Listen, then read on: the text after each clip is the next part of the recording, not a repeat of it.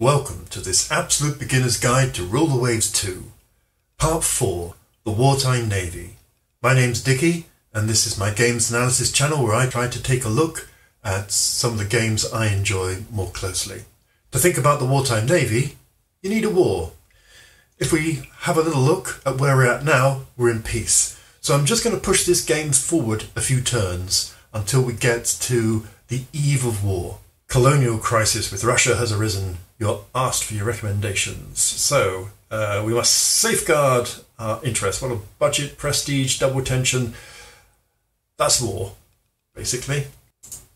And boom, as soon as we okay this, this will go shooting up into red, take tensions from the current 10 up to 50 or 60. And that brings us to the point. What do we do now? How do we manage our navy in wartime? So, five things to consider. What war winning strategy are we going to deploy? What are we going to build during wartime that can arrive and actually help out. How are we going to deploy our forces? How are we going to decide which battles we're going to accept and which, if any, we're going to decline? And what do we think about peace? What are we really aiming for here? So, let's accept war. Here we are. It's September 1903. After a month of war, which is a bit odd because it's only just happened and we didn't have any opportunity to react, but there you go. War winning strategies. Number one, probably the most fun, certainly the one I enjoy, is just get in there and win battles. Sink ships, crank up the victory points, get some bonus prestige for epic victories, and bring your opponent to their knees by sinking their navy. It's a lot of fun. Number two, blockade. Starve them. Have a bigger fleet in their home area than they do. If you manage that every turn, you will generate a few hundred victory points, which isn't many. It's small beer compared to a decent naval victory basically the public doesn't get enormously excited by relentless blockade in the same way that they get cheered up by a big naval victory. But impact on uh, this figure, the unrest level. So currently our unrest is at level two, which is all right, could be better, but recently had been as high as uh, level five during the economic downturn. We pushed that down a little bit by wisely giving up some money for social measures to be passed by Parliament.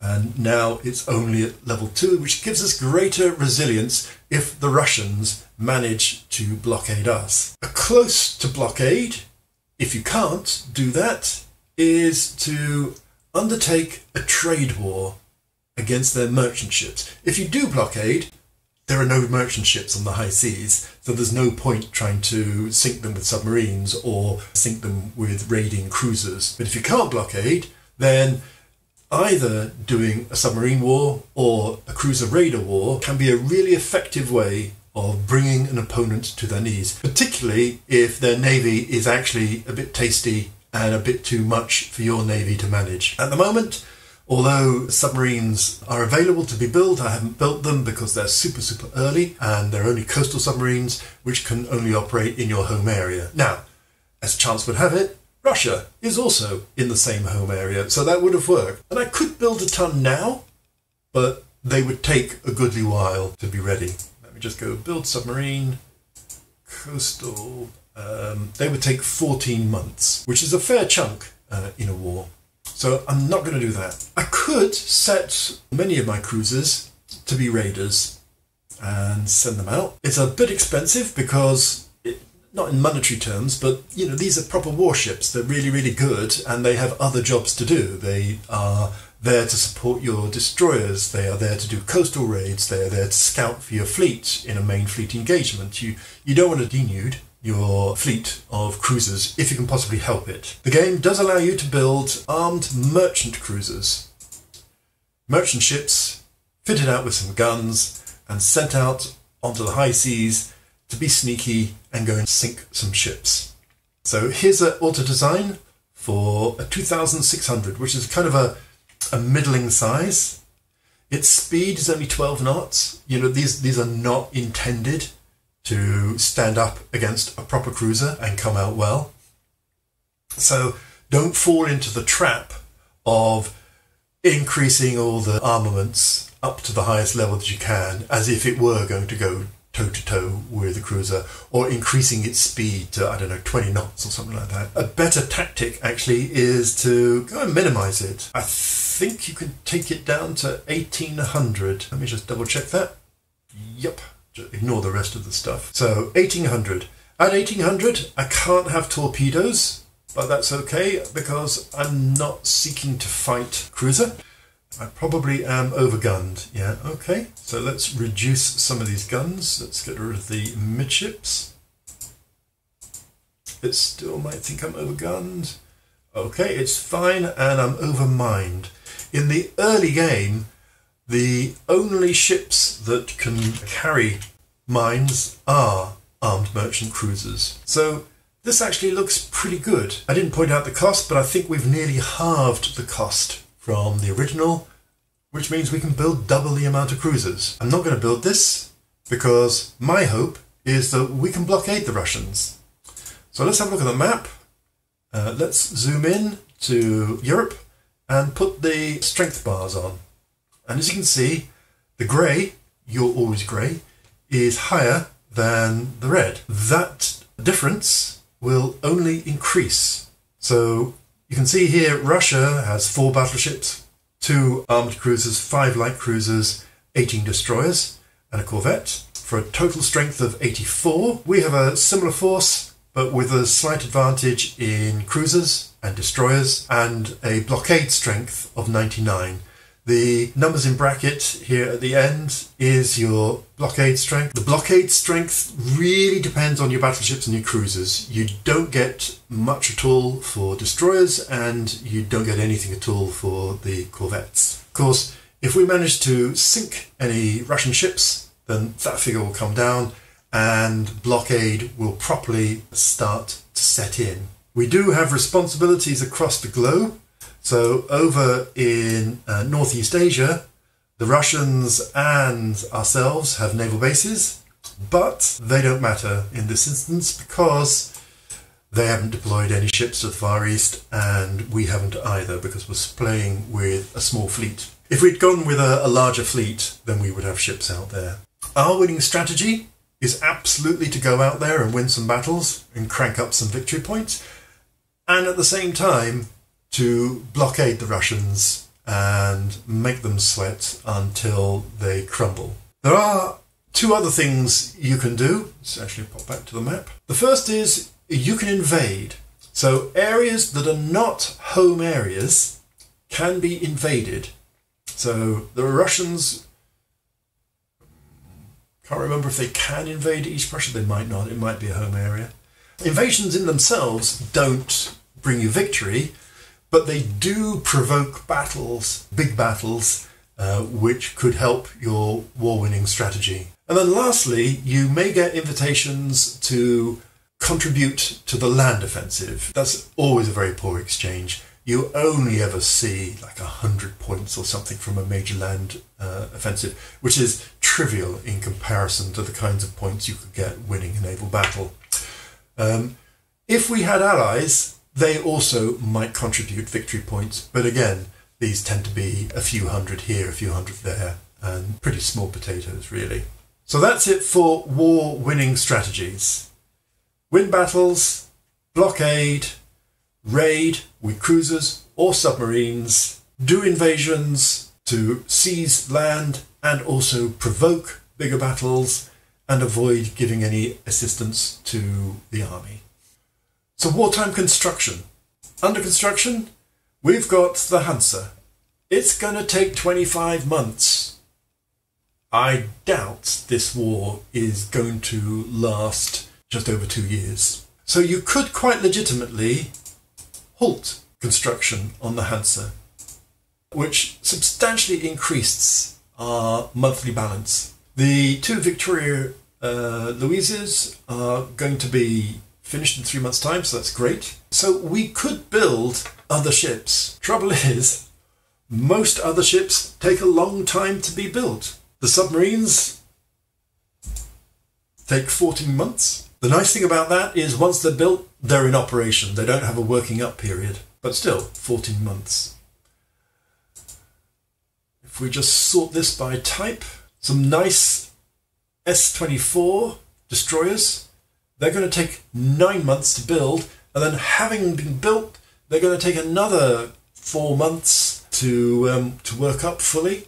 So a good year before they're going to be ready. The armed merchant cruisers, four months to build, four months to work up, eight months. Also, in this particular war with Russia, I don't think there's any virtue to that.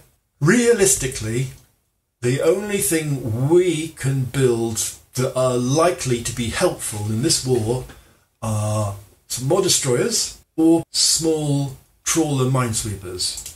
If you go to design and pick Corvette and auto build, uh, 900 is no use, but you can go down to like 200 and bring the speed down to something sensible and the guns down to 2 inch guns. None of that matters. All that really matters is we want minesweeping gear. Now, in order to do that, we'll have to lower the speed. After all, it is a trawler. So we could get some minesweepers in three to four months, plus three to four months of working up. However, I'm not going to build some trawlers. Possibly wrong, but it doesn't seem as if it's worth it. For me, in this war, I'm going to not halt the Hansa and bring it back on we're still increasing money, so feels time to design another ship. Okay, I've had a look at redesigning, and there's nothing that really takes my fancy. So I'm going to let this funds increase a little bit, push it a couple of months, see if I get any new researches, play it by ear. Sometimes you just don't want to necessarily build very much, particularly in this early game where you don't want to add to obsolescence. So that's winning strategies and construction. We've talked about deployment, but really in this game, because it's small, we are all just stuck in the Baltic. So the final two bits are deciding whether you're going to fight the battles or not and deciding about peace. So first of all, the battles. Every time there's a battle, you are given the option to decline. You get an intelligence assessment of the battle, which just reminds me every time you go to war, you need to push up your intelligence to high. That will help you not be surprised and create more favourable battle opportunities for yourself. In fact, I probably should have pushed that up whilst we had a tension 10. Um, so you get a little dialog box popping up telling you what the battle is about. Is it a convoy attack? Is it a coastal raid? Is it a fleet engagement? It gives an approximation of the forces in that sea area and it gives you the opportunity to decline and how many victory points that will cost you. Usually the several hundreds, say 400 for a smallish battle, 750-ish for a medium battle, could go up to 1,250, that kind of number for a fleet engagement. I don't normally decline battles unless I am really winning big and I don't want to fight some sorts of battles. For example, destroyer against destroyer engagements can be really difficult. They're hard to hit with guns, they're hard to hit with torpedoes. You sprawl around and zoom around all over the place doing not very much and they tend to end up being draws. And for the sake of actually my time, declining and losing a few hundred points is neither here nor there. You also have the opportunity to decide whether you are going to accept two cruisers, a raider and a trade protection cruiser having an engagement. So if the Russians send out raiders and I've got some cruisers on trade protection, it'll ask me, do I want to auto-resolve that or do I want to fight it out? Depends on the ship. If it's clearly mismatched in my favour, I will auto-resolve it. Uh, if it's clearly mismatched in the enemy's favour, then I might well try and fight it out in order to try and escape. And if it's even, it will just depend on the war situations, how it's doing, and I might just roll the dice and see how that goes. We have a little look at how our fleet is doing. Everything is good, hooray, except for the three Leipzigs, which have just returned with their better fire control. It is required by us over here to maintain seven ships on trade protection. Normally, I would use the minesweepers or all of my corvettes onto trade protection, which is here. Oops. You can also do it by just selecting them and just pressing T, and that will put them all into trade protection. And we need another, so I'm going to put a nymph onto trade protection as well. Have I accidentally picked? Oh yeah, I've accidentally picked up a destroyer. If you press A, that will put it back to the active fleet. So that's seven on trade protection. If there were a lot of submarines around, I would increase that number. I would put some destroyers because I don't have enough corvettes at the moment. I would want, you know, double or possibly even triple the number of ships on trade protection than the minimum requirement. So you can see here the war results. Victory points, enemy victory points. Are you fulfilling the trade protection? What's your level of anti submarine warfare at the moment? What policy are your submarines following? Obviously, I have no submarines, but they could support the fleet, in which case they also do a little bit of trade warfare, sinking enemy ships, but they are primarily looking out for enemy warships. Prize rules, where they are doing trade warfare, but in a sustainable way that doesn't annoy neutral countries in particular, or of course unrestricted which can annoy neutrals. Now, as you can see here, we're reasonably balanced. We've got goodish relations with most countries. Sixes, fives, I think that's a three. So we're unlikely to really annoy them enough, but as I say, we haven't got any submarines, so the point is moot. And then finally, the target for any invasion. And that's pretty much it. Decide who or if you can invade anybody.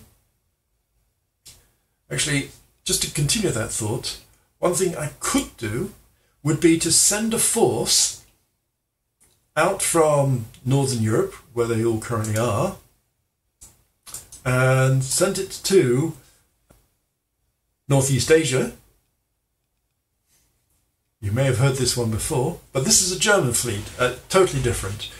Currently, the Russians have no ships in this area. There's only the Japanese Navy and then I could plan to invade good old Port Arthur here, or I could invade Sakhalin Island, but I couldn't invade the Far East. So I would have to send a fleet there. You can't just invade with no ships in the area. And obviously, it would take one, two, three, four, five months to make the journey. I'm not going to do that because it would weaken my opportunities to mount a successful blockade. As you can see, the margin here isn't large. It might not even be large enough at the moment to actually secure a blockade. And so obviously sending some cruisers off to the Far East would severely restrict that. So all that remains to be done is press the turn marker and see what happens next. And what should happen is a battle will occur. And if you accept and fight that battle, then that's probably it for the month plus the usual intelligence and some research finds and a bit of spying and all the usual stuff. If you decline the battle, it will usually offer you another battle. And if you decline that, it may well ask if you want to do a third battle. So that's something to bear in mind. It may only be a couple of hundred points, but then if you've declined three, it could be six or seven or eight hundred or more points. Finally, just a few words on peace. Don't be greedy there's always another chance to fight a war, particularly with your neighbours. Long wars are really bad because although your budget increases in wartime, your expenses increases and you may well lose expensive ships too. Now, this is true for your enemy as well, so that kind of evens it out. However, every other nation gets a boost to its economy and its naval budget during wartime. And as a consequence, they're not experiencing any of the costs The longer you're at war, the longer you are stuffing money into the coffers of rival navies. Secondly, remember that your victory points that will be recorded here is only loosely coupled to what happens in the peace. Now, way back in Guide 1, when we talked about setting up the game, if you chose to do harsh peace deals, that will make that coupling tighter. So that big victory point leads tend to produce big victories with lots of victory points that you can spend on grabbing colonial possessions from your enemy or reparations that feed your economy. But played naturally, without the harsh deals, you may do very well, but you may have a huge victory point lead and they agree a stalemate peace. After all, you're only the admiral. So don't hold out for huge margins on the assumption that that's going to necessarily produce a big peace deal in your favour. The only reason I can think of for passing by what would seem to be a reasonable victory margin when peace is offered is if there's an invasion you want to do that hasn't come about yet. So that's it for how to manage the Navy in wartime, except for the little slight detail of fighting your battles which is what's going to be next. Join me for the final part of this absolute beginner's guide to Rule the Waves 2. Thanks for watching.